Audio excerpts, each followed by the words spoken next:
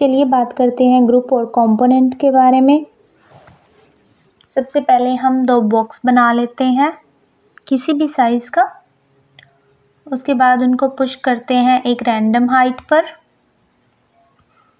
उसके बाद उसको राइट क्लिक करके एक ग्रुप क्रिएट कर लेते हैं और ऐसे ही हम एक कंपोनेंट बना लेते हैं।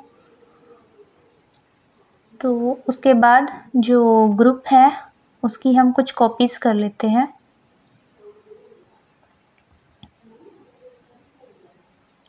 ऐसे ही हम कंपोनेंट की कुछ कॉपीज़ ले लेते हैं।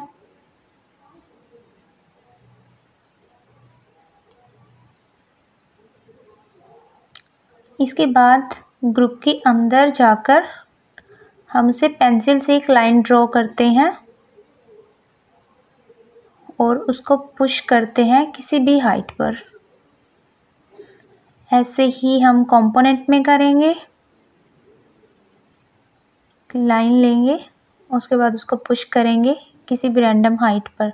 तो जैसा आप देख रहे हैं कि ग्रुप में जब हमने कुछ चेंजेस किए तो जो उसकी कॉपीज़ उठाई गई थी, उसमें कोई चेंजेस नहीं हुए। ऐसे ही जब हमने कंपोनेंट में कुछ चेंजेस किए तो उसकी जो हमने कॉपीज़ उठाई हुई थी तो सिमिलरली उन्होंने भी रिएक्ट किया। तो ये डिफरेंस होता है कंपोनेंट और ग्रुप के अंदर। Thank you so much for watching